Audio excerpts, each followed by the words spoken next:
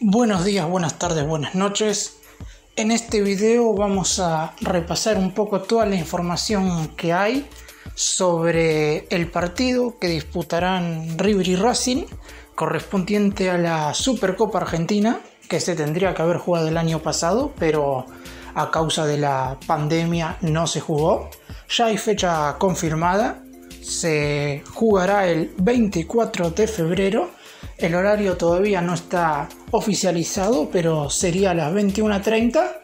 River, campeón de la Copa Argentina 2019, contra Racing, campeón de la Superliga Argentina 2018-2019. Empecemos un poco hablando del estadio donde se jugará el partido, ya que es la primera vez que River jugará un encuentro oficial en este nuevo estadio es el Estadio Único Madre de Ciudades, también llamado comúnmente como Estadio Único de Santiago del Estero. Ya se sabía con anterioridad que este partido entre River y Racing iba a disputarse en este campo de juego, pero claramente al igual que la fecha y todavía aún veremos la hora, faltaba la oficialización por parte de la Asociación del Fútbol Argentino, ¿no? Estaba ubicado en un recinto deportivo, su construcción arrancó poco antes del inicio del Mundial de Rusia, ¿no? por el principio de junio del 2018, y finalizó entre abril y mayo del año pasado en plena pandemia. ¿no? Este partido tendría que haberse jugado en mayo del 2020, o por lo menos la idea era que tuviera lugar en este estadio en mayo del año pasado. Claramente no fue así. La capacidad aproximada es de 30.000 espectadores, aunque esto mucho no tendrá que ver, ya que no podrán ir ni público de River ni público de Racing. Hubiera sido lindo quizás que el primer partido eh, con gente fuera este, ¿no? 15.000 personas de River, 15.000 personas de Racing, pero lamentablemente para que eso suceda hubiera tenido que jugarse este encuentro, te diría, en septiembre o octubre, y creo que no quieren atrasarlo más. Además, este estadio será sede de dos partidos de la Copa América 2021, fue construido para ser sede de la Copa América. Es uno de los cinco estadios de Argentina que será sede. Dos partidos del Grupo A recibirá Chile versus Paraguay y Uruguay versus Paraguay. Ambos partidos corresponden al grupo donde está Argentina. Además, está postulado para albergar las finales de la Copa Sudamericana 2021, 2022, 2023. Será la Conmebol quien defina eso próximamente. Y además, esto todavía obviamente no está confirmado, puede ser que sea el primer partido en Argentina en el que se utilice el VAR. Claramente eso todavía no solamente no está definido, sino hay que, ver si es que definitivamente eh, la ayuda para los árbitros fuera de la cancha, que es el VAR, comienza a usarse en este semestre y no en el semestre que viene. Por ahora, lo confirmado es que River y Racing se enfrentarán en el Estadio Único de Santiago del Estero. Será la octava final por la Supercopa Argentina, ¿no? Hasta el momento han sido todos campeones distintos, nunca hubo un campeón repetido. River es ahora el equipo que tiene la posibilidad de coronarse por primera vez bicampeón. La primera vez que hubo un equipo que se consagró fue en la Supercopa Argentina 2012, ¿no? en la que Arsenal le ganó a Boca por penales 4 a 3. Luego Arsenal tuvo la chance de salir bicampeón, pero cayó en el encuentro definitivo ante Vélez. Después llegaría la primer derrota de River, ¿no? Que fue ante Huracán 1 a 0 en aquel encuentro disputado en el estadio San Juan del Bicentenario. Luego la goleada de San Lorenzo 4 a 0 sobre Boca. Nuevamente una goleada y segunda caída de, de, River en esta copa, que fue la derrota 3 a 0 con Lanús en el Estadio Ciudad de la Plata. Luego creo que llegaría quizás no solamente el encuentro más recordado de esta competencia, sino también la vuelta, ¿no? Lo que significó en ese momento el regreso de una final entre River y Boca. El millonario se consagró en el Estadio Malvinas Argentinas de Mendoza tras ganarle al rival de toda la vida por 2 a 0. Recordemos que River y Boca habían jugado la última final en 1976 y este encuentro disputado en 2018, que obviamente corresponde a los campeones del 2017, por eso en pantalla vemos edición 2017 en River y Boca, pero se jugó en marzo del 2018.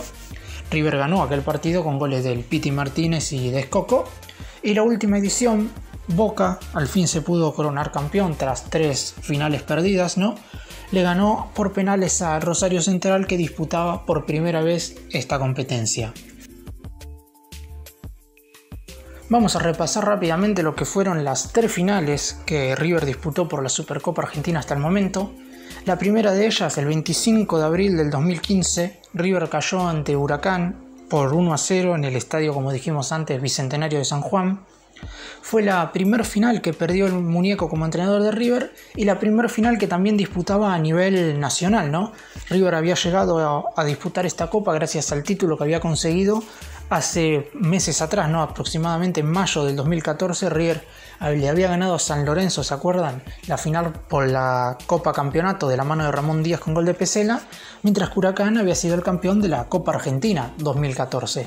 Se enfrentaron, River salió aquel compromiso con Barovero en el arco, la línea de cuatro conformada por Mayada, en ese partido no pudo jugar Mercado, Maidana, Funes Mori, Bangioni, Sánchez, Cranevite, Rojas, el Piti Martínez, el mediocampo parcialmente titular, ¿no? ya que estaba Poncio también ahí metido, pero no jugó. Y adelante jugaron Mora y Cabenagui. El Cabegol fue el capitán, aunque recordemos que el titular en ese momento era Teo Gutiérrez, que tampoco pudo disputar aquel partido. La formación de Huracán no, no la vamos a repasar, pero la tienen ahí en pantalla. Sí vamos a decir que el gol lo marcó Edson Puch a los 21 minutos del primer tiempo. Fue una final en la cual River nunca pudo hacer pie y Huracán se coronó campeón justamente. Si bien es verdad que no fue muy superior al equipo de Marcelo Gallardo, River tenía un juego bastante dinámico y en ningún momento pudo hacerse cargo totalmente del partido, por lo que Huracán fue el justo campeón. Pasemos a la segunda final que River jugó por la Supercopa Argentina, otra derrota, esta vez fue 3-0 con Lanús River, campeón de la Copa Argentina 2016 frente a Lanús, campeón del torneo de Primera División 2016.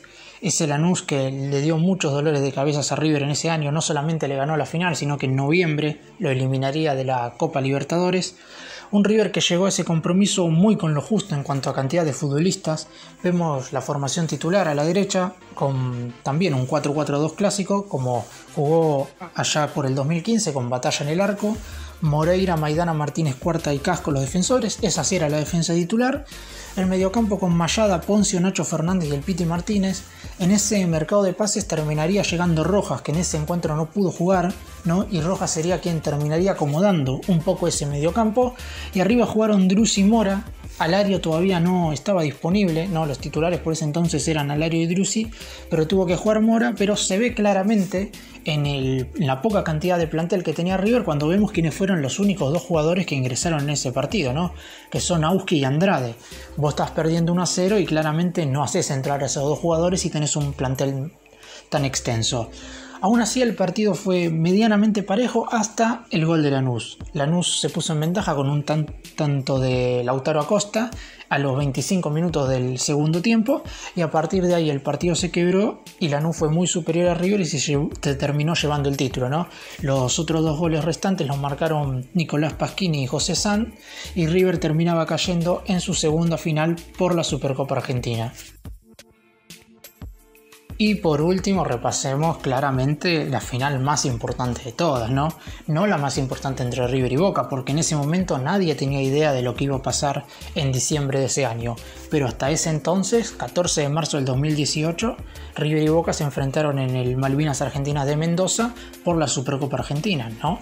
River, campeón Copa Argentina 2017, Boca, campeón del torneo de Primera División 2016-2017 el River del Muñeco venía bastante mal, ¿no? Desde la eliminación con Lanús en noviembre del 2017 había tenido unos meses donde había logrado ganar la Copa Argentina, pero la estabilidad futbolística estaba no solamente disminuyendo, sino que estaba en picada. En ese mercado de pases llegaron justamente futbolistas como Prato y Armani que fueron titulares y acomodaron un poco el rumbo. River, ¿cómo formó esa noche? Armani en el arco, figura excluyente de aquella final, a los 10 partidos Armani ya podía haber levantado, levantó, perdón, no podía porque lo hizo, levantó un título en River. Línea de 4, Montiel, Maidana, Pinola y Sarachi. Maidana estuvo en las tres finales. Me parece que, que es el único, ¿no? Porque Poncio en la primera no estuvo. Línea de 4 volantes con Nacho Fernández, Enzo Pérez, Poncio y Piti Martínez. Y adelante jugaron Mora y Prato. Perdón, Mora también estuvo en, en las tres finales, no, no había tenido eso en cuenta. Mora jugó la final contra Huracán, la de Lanús y también está con Boca, no me acordaba. Eh, en el segundo tiempo, como vemos, entraron Mayada, Zuculini y Escoco, y es muy importante el ingreso de Nacho Escoco porque vemos que ingresó a los 67 minutos del partido y a los 70 marcó el 2 a 0, ¿no? El Piti Martínez ya había anotado el primer tanto y la apertura del marcador a los 18 minutos del primer tiempo desde el punto de penal. River se quedó con el título y la tercera finalmente fue la vencida y pudo consagrarse campeón por primera vez de la Supercopa Argentina. Bueno, para terminar hay que decir que es un título quizás no con la relevancia que todos le daríamos, ¿no? Porque en realidad el hecho de que se haya atrasado tanto, yo creo que le quita un poco de relevancia. En cuanto al título en sí, lo que no es menos importante es que como se juega al principio del semestre, de hecho River tiene tres partidos únicamente antes de este contra Racing, jugará el 10 de febrero por la Copa Argentina, ya haremos un video de eso, también se confirmó la fecha de la Copa Argentina, enfrentará nada más y nada menos que a defensores de pronunciamiento en todavía estadio por confirmar.